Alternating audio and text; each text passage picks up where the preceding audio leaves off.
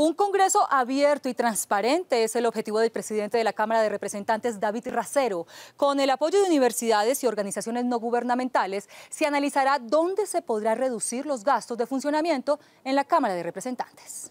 inicia un trabajo paralelo en la Cámara de Representantes que visibilizará la estructura de cara a los ciudadanos con lenguaje sencillo y de carácter educativo en las actividades propias de la corporación. Pues por lo pronto empezaremos a trabajar conjuntamente entre las organizaciones de la sociedad civil, la cooperación internacional y el Congreso con el objetivo de ver cuáles son las acciones que podemos hacer, como por ejemplo definir un lenguaje común que nos permita eh, difundir información a los medios de comunicación sobre las labores que hace el Congreso, hacer pedagogía ciudadana, eh,